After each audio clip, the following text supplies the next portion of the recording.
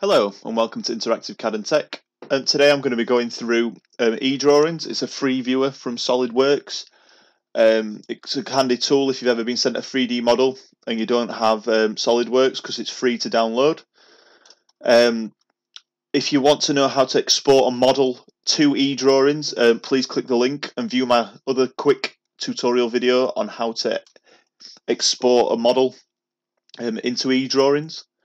Um, but if you're new to 3D viewers, um, let's get started and I'll just give you the basics on how to uh, view a model. So just to get started, up here you have all your view icons. So you have select, which enables you to select your surfaces.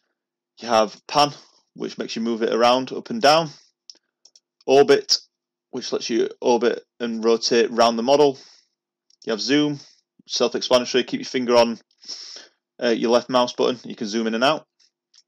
Um, zoom to fit, so you click the area you would like to zoom in on, dra drag a box around it, and it zooms into it. Zoom all, which will zoom out and show you the whole part. Um, you also have your view orientation, so that's the front, uh, left side, bottom, right side. So these are just your set views. If I go back to the select arrow and click a flat surface, I can go back to the view orientation and click normal to plane and it will view square on to the surface I've selected. You've also got wireframe on the end if you want to just view it in wireframe, shaded uh, with wireframe or just shaded with no edges. So that's your view settings. If you go down to the bottom left, you have animate and reset. If I click reset, it just puts it back in the original view. I'll just put it back on shaded with wireframe. To measure, you just click measure and you um, arc measurements. You can uh, is set at center to center. My length, uh, my length uh, units I want to be millimeters and angles in degrees. So if I click that circle at the top, it's telling me the diameter 62 millimeters and the depth of the hole is 177 millimeters. Same again, I can just click that circular surface and it should give me the diameter. Oh, it's because what basically what I've done there wrong is it's it's I've selected two things at once and it's coming up with invalid combination. So if I just press escape, go and measure again, click that surface, it's telling me the diameter of the middle of the wheel is 29 mil. So press escape again. So that's the measurement tool. It's quite easy to use. Um, you, you also have section views.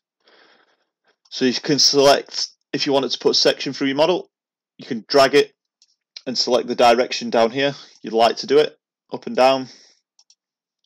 You also have, so you've got all your orientations. You can also do normal to your section view by clicking the normal to arrow there. Just exit out of that. Down in the bottom right, you have mass properties. So it just tells you the density, um, which is wrong because it's not been set up properly. But if you've got this model from a proper design house, they should have that set up. Uh, your mass, volume, and surface area.